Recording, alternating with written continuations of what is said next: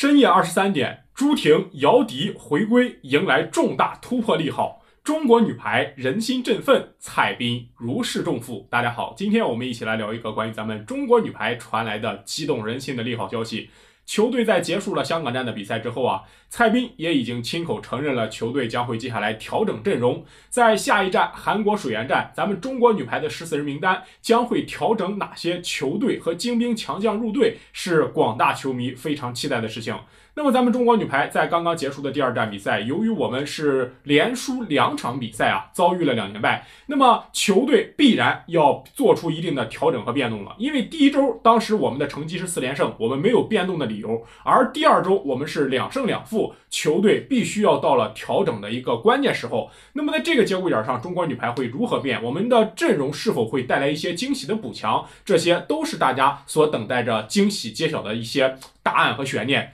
那么，同样说到中国女排，我们之所以第二周打得如此狼狈，我们不难发现，其实我们能够发现中国女排的一个很大的一个弊端和问题，那就是蔡斌执教下的中国女排，我们似乎在一套阵容打天下，我们就摁着这一套阵容在消耗，摁着这一套阵容在打，不善于做出主动的人员上的轮转，所以说导致我们这套主力阵容他们的体能损耗特别大。所以说，打到后期，我们打波兰和意大利的时候，我们的体能接近透支，导致中国女排我们似乎有些体力不支的情况下，在面对对手，我们打不出我们应有的实力，最终导致中国女排吞下了两连败的苦果。所以说，眼下来看，中国女排我们需要开启一些轮换，能够让蔡斌的麾下能够有更多的优秀的球员可以去使用。如今的蔡斌，我们不难发现，其实你举个例子来讲，像主攻、像二传这几个位置上，其实蔡斌他也想轮换，但是你轮换的话，没有特别好的人可以去用啊。主攻位置上。王云璐和这个钟慧已经算是咱们国内排超联赛比较顶尖的。国内的优秀的一些排球运动员了，对吧？主攻运动员，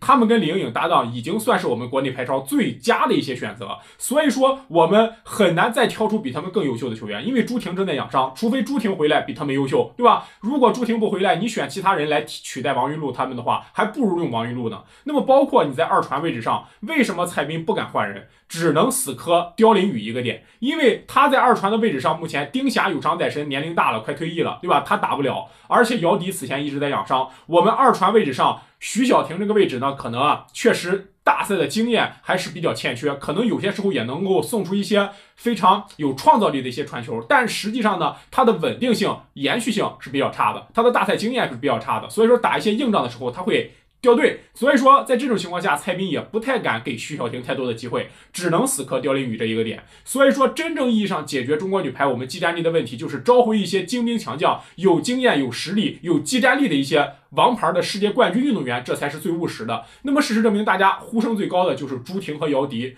这两个人。如果说一旦回归，那么中国女排我们的主攻线、我们的二传的位置的隐患、轮转的问题，都将会得到迎刃而解，让中国女排我们就具备了去跟那些世界强队掰掰手腕的实力了。届时，蔡斌在比赛中也可以做出更大面积的人员轮转，让这些队员之间是吧？可以在打一些不重要场次的比赛中做出一些轮换，让主力球员直接得到休息，打一场休一场也可以啊，对吧？这样的比赛强度的话，可能对于我们中国女排来说，打到最后是更有利一些的。所以说，朱婷和姚笛能否回归，对于中国女排来说是非常非常关键。那么，同样我们也都知道，在中国女排结束了在香港站的比赛结束之后，我们看到香港方面的权威媒体也是发布了一个权威消息，发出了正式的呼吁。香港大公报啊，也是发布呼吁，显示啊。他们呼吁朱婷和姚笛能够尽快的回归中国女排，来增加中国女排的进攻力。那么，通过这样一个权威媒体的报道，意味着什么？意味着朱婷、姚笛二人回归中国女排，迎来了重大的惊喜、利好性的突破。意味着他们两个人回归中国女排，或许已经正式的提上日程了。